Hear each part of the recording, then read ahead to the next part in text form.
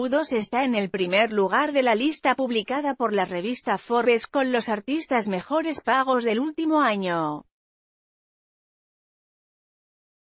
El grupo irlandés recaudó 118 millones de dólares en ganancias desde el 1 de junio de 2017 al 1 de junio de 2018, según destacó la publicación. En parte fue gracias a su exitosa gira de Joshua Tree, que celebró los 30 años del álbum 1987, el mismo tour que pasó por la Argentina, con dos noches en el Estadio Único de La Plata.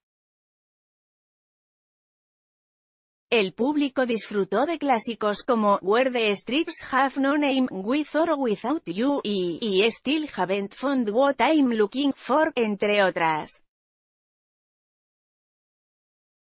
El número alcanzado y publicado por la revista también incluyó las ganancias por su nuevo tour Experience Innocence.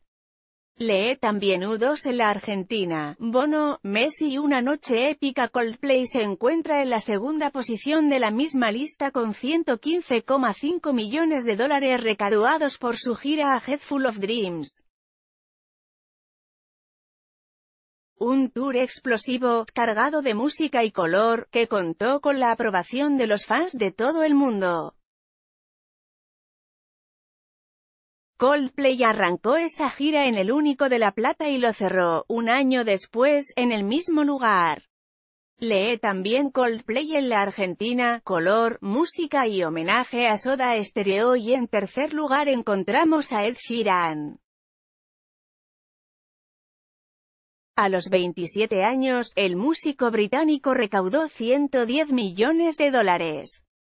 Lo siguen, con 100 millones, y, en el quinto puesto, con 83 millones.